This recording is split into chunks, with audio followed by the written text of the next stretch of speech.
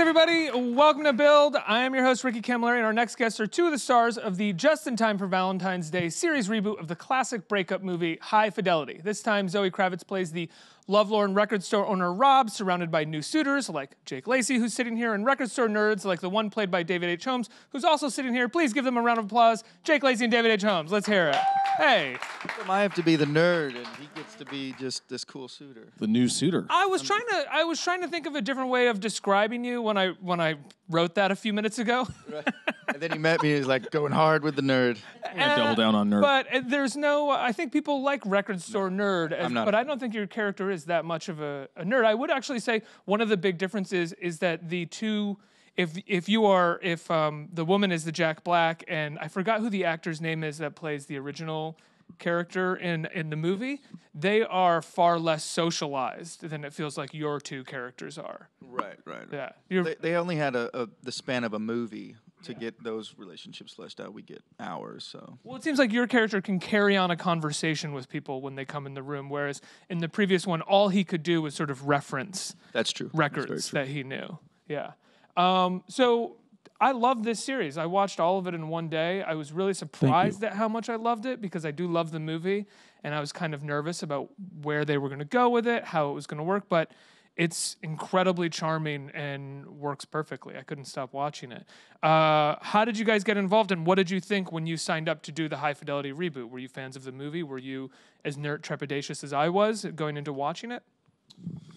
I was a huge fan of the film, and uh, my involvement w- really came about. Like, there's no parallel character in the book or the film for who I play, but um, You're one of the few things that sort of go Yeah. off. Yeah. and because you know, like David said, we have ten episodes here, and um, potentially more in the future, and so there's room to like expand the world a little bit beyond what was initially there. Um, but I came to the project because Jesse Peretz directed the pilot, and he and I had worked together on a couple things. And Girls, right? girls, he direct the first time we met, he did one episode of The Office, and I was like, "Do you live out here?" And he was like, "No, I, I live in New York." And and then girls, he was um, like director producer for the year that I was there, and then. Um, yeah, so he had floated my name to Veronica and Sarah and Zoe, and then we did a Skype, and then um, they sent me the script, and I flew out to LA, and we did a test, and then I was lucky enough to get to be a part of it. And um, it didn't occur to me until we were talking just moments ago that you were like, I was a little nervous about it, but it turned out great. That people would be nervous about it. I think for I think for different reasons too. Like I was slightly nervous about it because I love the original movie, and I Totally. think for a lot of people, the movie doesn't hold up for them because it represents a certain maleness prior to you know 2014, 2015. yes. Uh, and so I think people are sort of nervous that it is in some way going to feel beholden to that, even though it's about a woman, which I don't think it does in, in any way whatsoever. Yeah, it's a pretty. It's always fun to be a part of something, to think it's going well, and that you understand why it's going well, and then to see the final product and be like, oh, this is going better than I knew it was going, and in myriad ways that I wasn't aware of. You know, that like the ability for the writers and producers and Zoe to recontextualize this story into 2019, 2020 in a way that isn't just like, and the lead's a woman, so there you go, woke world. And it's also not working too hard to handle do it. that. You know, Yeah, that's to the other part naturally, of that. seamlessly Yeah. create this world and this character is like awesome to witness that as a participant after the fact to be like, that's that's incredibly well handled. Yeah, I and I- think. And I think Nick kind of put it, you know, more succinctly in, in that article that he wrote in Rolling Stone. But the the characters that he wrote, it doesn't need to be a man. Like people fail at love all the time. You don't have to be a man to do that. Women can fail at love. Women, there's a messiness to these characters that i i you can be any gender, any race, and you're going to understand it. Everybody likes music. And Everybody has everyone heartbreak. likes music, and everyone knows how to like.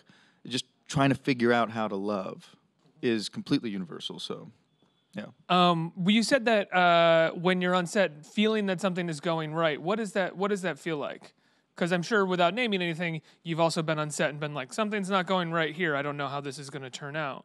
But if you you had a sense that this was going to turn out pretty well, I think um, maybe like the clearest e- expression of that in my experience is when like a script isn't working and you feel like as an actor maybe my job on set is to like mend this script into a passable scene instead of having a script that's good and then being able to do that scene well to tell that story, which really is what you hope your job as an actor is. Not to go in and be like, okay, yeah, we can cobble this into a good scene or a passable scene.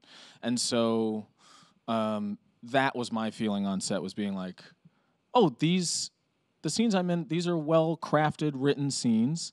They're being well directed.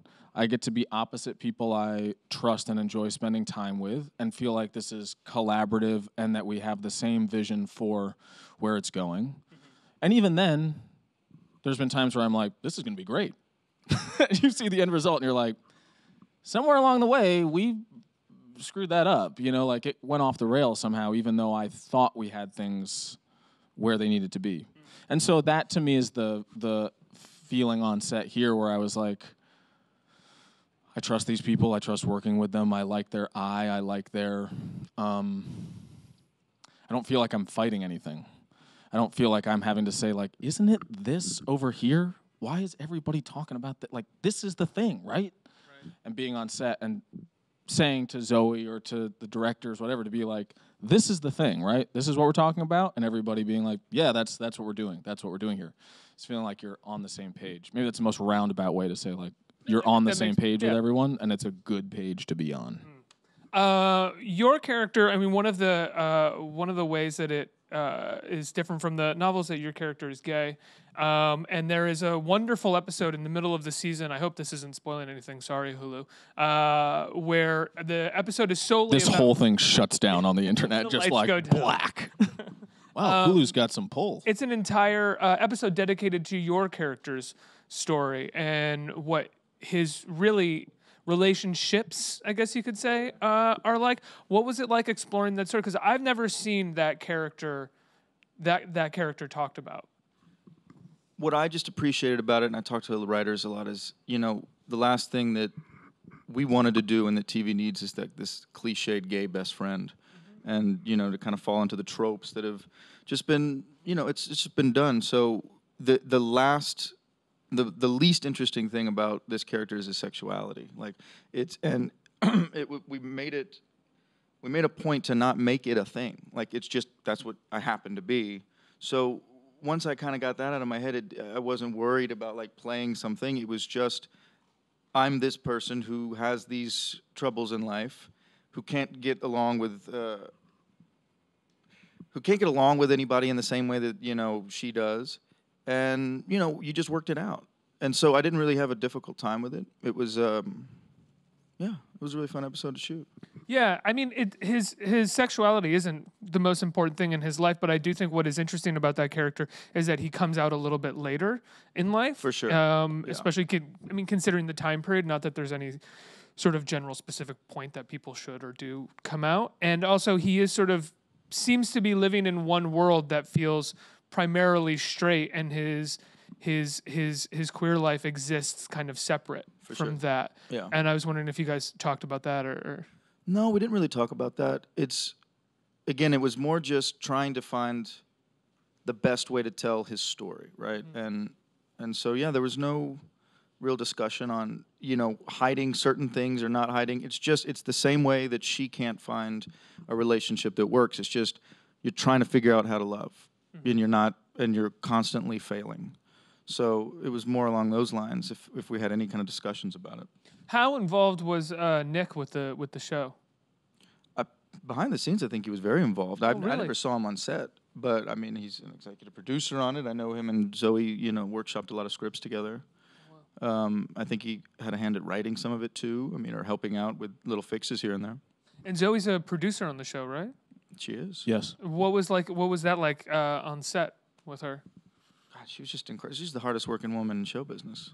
No, wonderful because you feel like you have a champion that is like, yes, the hardest working woman to be sure because she's like one foot in this camp of like answering to our boss's boss's boss about where the show's going and the characters and casting and all these things, and at the same time, you feel like you have a champion on set where you're saying like, "Does this make any sense? Why are we doing it this way?" And she's like, "I totally agree."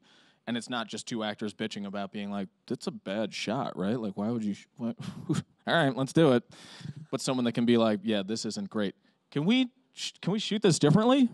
And then they shoot it differently, and you're like, "Hey, all right!" Like that feeling is incredible. Or to like call her and be like, "What happens in this scene? Why does this and then that?" And she's like, "I'll take a look and we'll fix it." And then we it were in really- fixed, and you're like, really safe hands with her. Like you It's just awesome. yeah, you felt like you had an ally who wants to make the best show and totally understood. Like if we did have an issue or a problem, or like I just don't think this is working. She's like, yeah, you're right. Let's change it. Let's do. Let's fix it. She was. It's all about just making the best show possible. So, yeah. Also, uh, that her eye and sense is um, fantastic. So I feel like there's a lot of times, myself included, that that people can be like, "Here's what's not working," and it's rare that people can also offer like, "Here's how it could work." Right? That it's easy to just point out issues, and that part of her I don't know, gift as a producer on this was to be like, here's why this isn't great, and it should be more this. Like, pull it this way, which um, I think she has great taste, or at least everything that she wanted to pull it toward. I was like, yeah, yeah, yeah, yeah. Let's do more of that. Let's get it weirder over here, you know? Um, like a good example is you having a standalone episode. I feel like there's probably people who are stars and producers on their own show who are like, I'm I'm the star. I don't want to do an episode where I'm not the star. What are you talking about? It's my show. I'm not going to do that. But was like, this is great. We should do more weird stuff like this. We should give more people things like that, you know? Yeah, I mean, I, You're trying to prepos He's he's really. It seems like is more people for a should have standalone. Like, standalone that sounds right? vaguely like a pitch to get his. Yeah. Just maybe Clyde He has got one- his own. he got in a standalone. Why yeah, can't I? Yeah. God, maybe it's a three be a- episode a- thing. Zoe is not watching this. Okay, Fine. He's not Yeah, watching. She's not watching this. It could be a standalone where we explore like how he loves Dave Matthews Band or like Yeah, yeah, yeah. or Phish, which I actually enjoy. He's deep into Mo. Don't get this guy started on Phish. OAR, you know? oh wait, are- oh, I'm not watching that episode. Sorry, Phish, Pearl Jam. You know the other ones, DMB. I could I handle OAR. went I'm to out. Farm Aid and I met two girls who were like 21 and they were like, "We're here for Dave," and I was like, "Dave who?" And they were like, "Dave Matthews." I was like, "That's great." And they were like, "We just got off tour with him," and I was like, "You're touring." Like you followed Dave Matthews for the summer? It's weird to be of an age where like an act I saw in high school and college because it was current is now like a nostalgia act.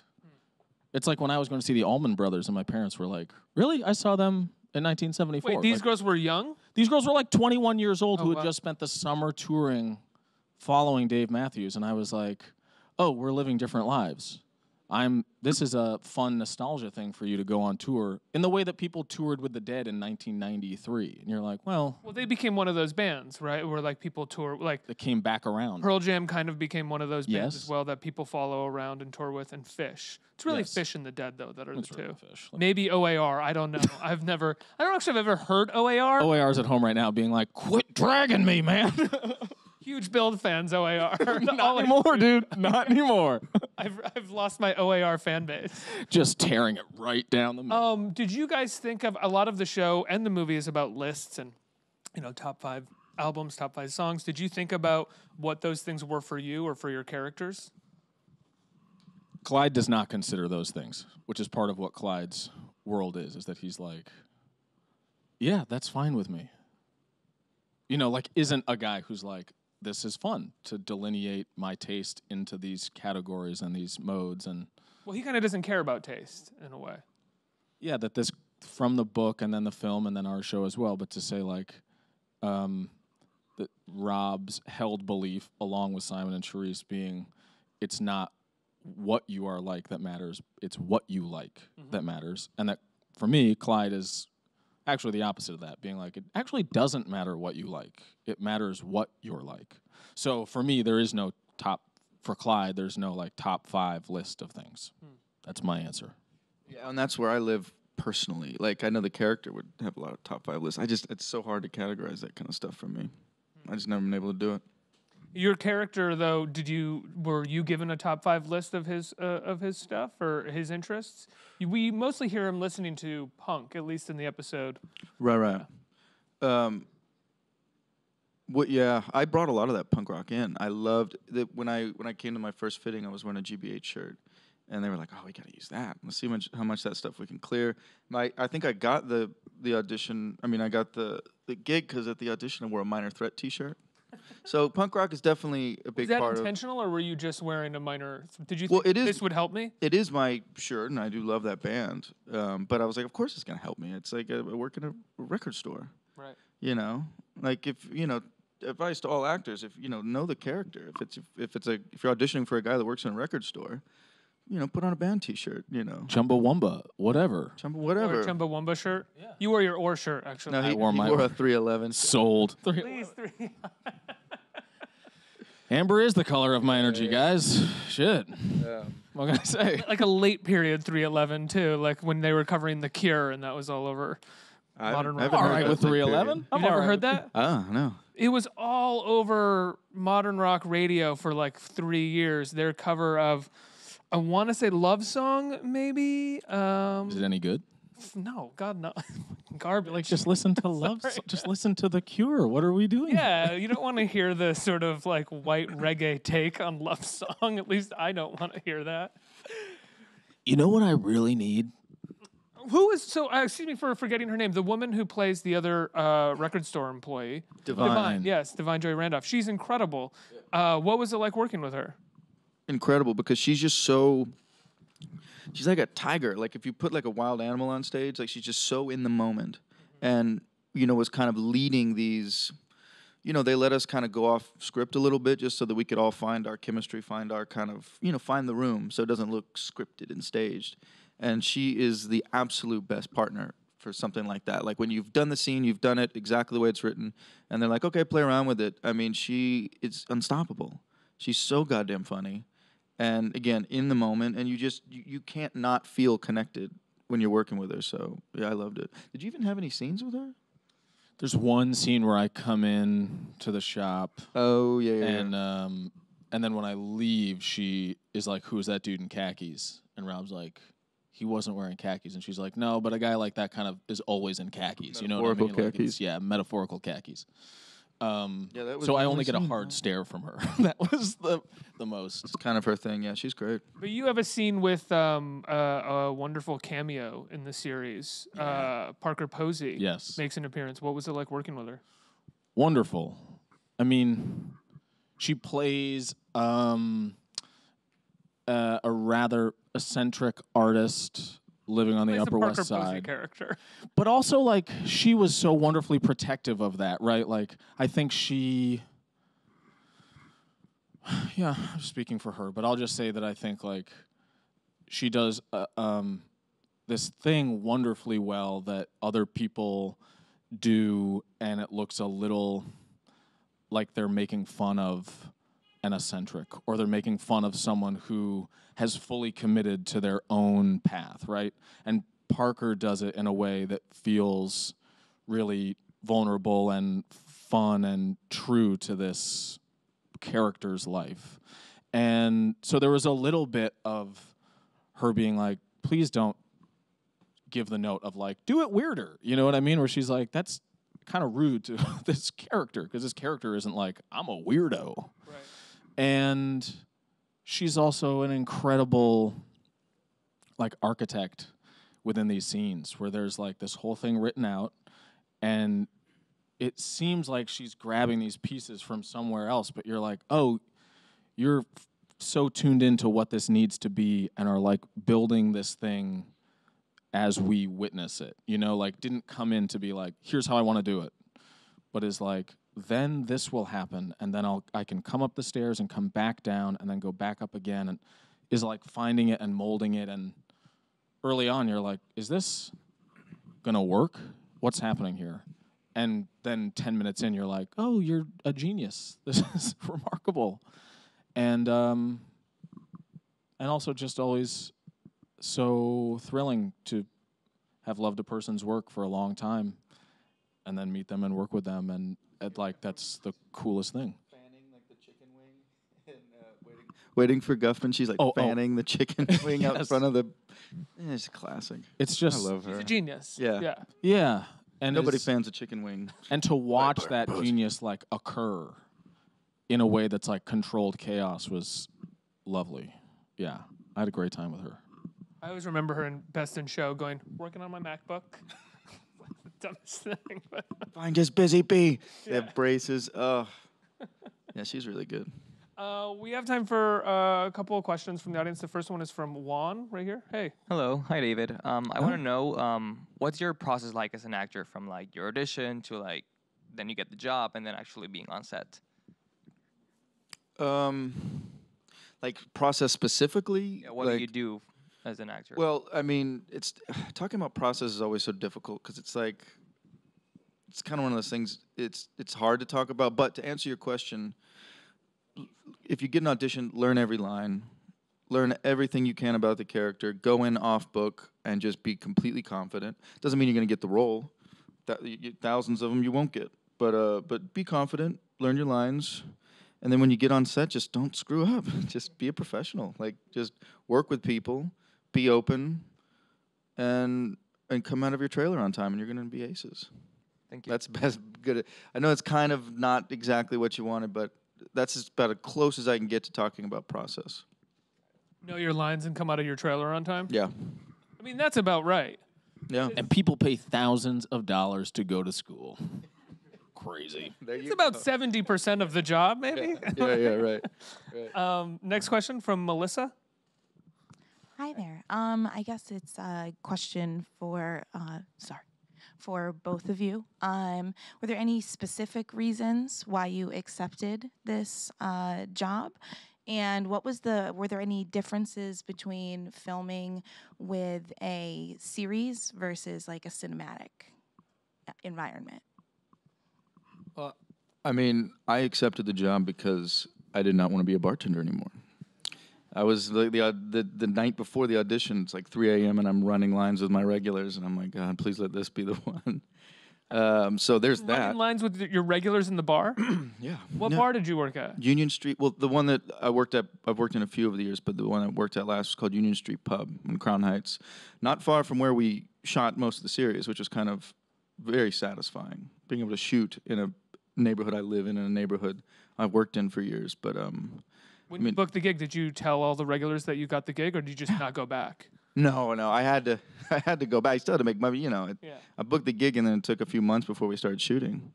But, uh, but yeah, certainly the bar, sh- the 4 a.m. bar shifts were a lot more fun after that, knowing that the end was near. You can only be a bartender for so long. Yeah. Every bartender knows that. My answer is I um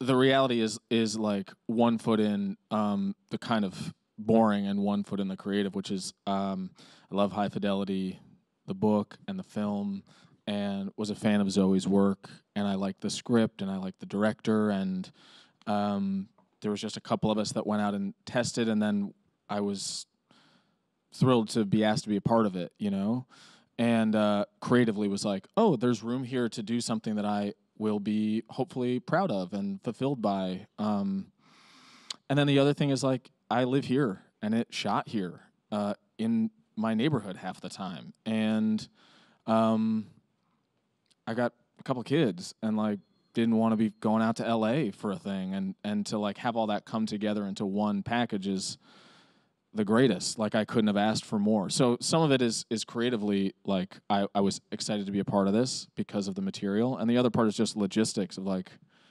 oh, the feeling to like go to work and then sleep in your own bed at night is unparalleled when you're used to like traveling for work and being in Airbnbs and trying to figure out how this all works for your life here when you're gone for weeks or months, you know? And then the comparison between like uh, cinema and and a series, I think, in my experience, is just um, depends on the size, really, of every production at this point. It's like I've worked on movies with very little money, and so you're really scraping it together and trying to move fast and shoot quick and like get this done in three to four weeks. And then there's other movies that have a ton of money that you're kind of like, are we just spinning our wheels here? Like, let's go. This is taking forever, and it doesn't feel like we're doing much.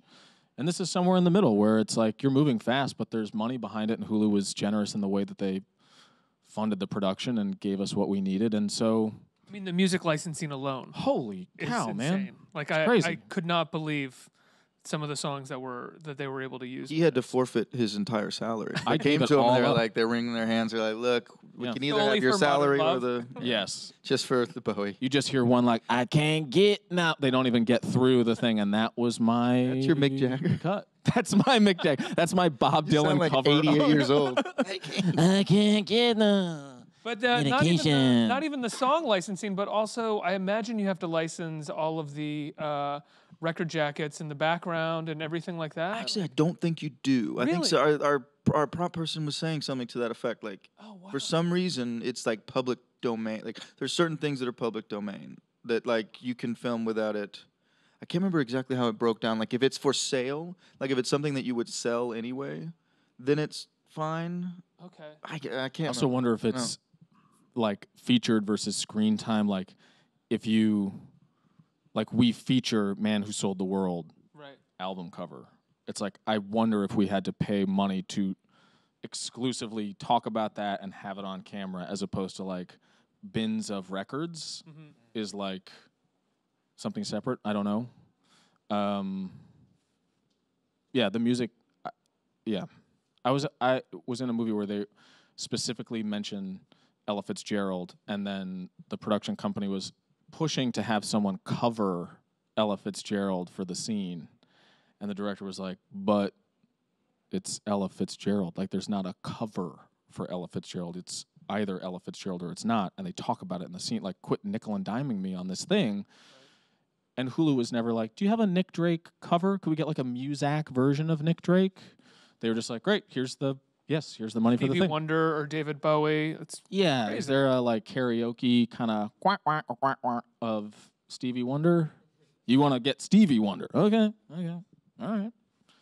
Um, well, guys, I love the show. Congratulations. Thank you very it much. Very premieres uh, this Friday. Uh, you told me Hulu's dropping all of the episodes at once, Yeah. right? Yeah, Um, and Binge it. it's- Yeah, binge it. I did. I watched it in a day. It's fantastic. Everybody give uh, David and Jake a huge round of applause for being here. Let's hear it. Thank you.